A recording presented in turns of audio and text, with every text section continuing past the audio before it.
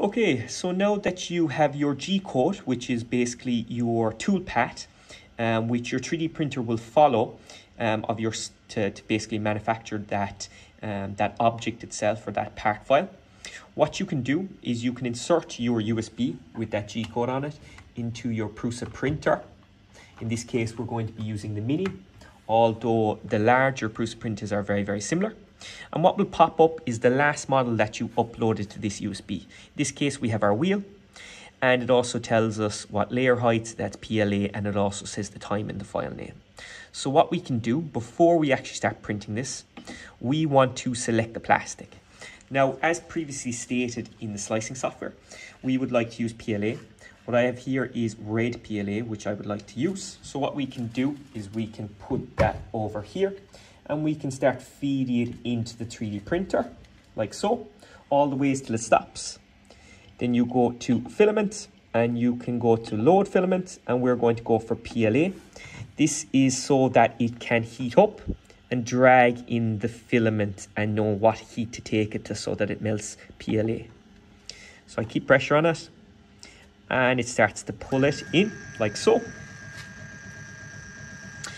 And then once I start seeing the red plastic coming out from the bottom of the extruder, be careful not to touch it, it will actually burn you.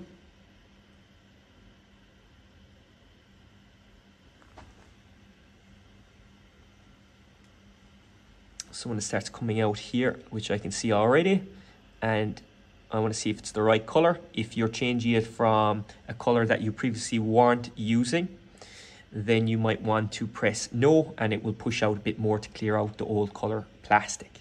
So is the color correct? I'm going to say yes. Now that our filament is loaded, I can go to print. I can go to that wheel. It's going to give us a preview, which is nice and handy just in case we are printing the wrong object. Click print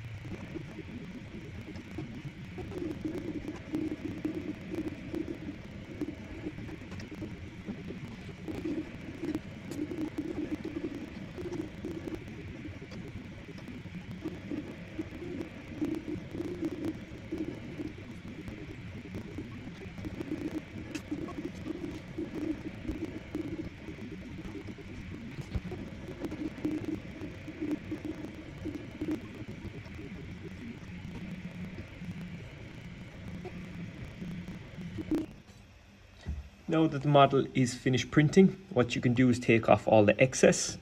So I like to take off the little piece here at the start, which is to clear the nozzle.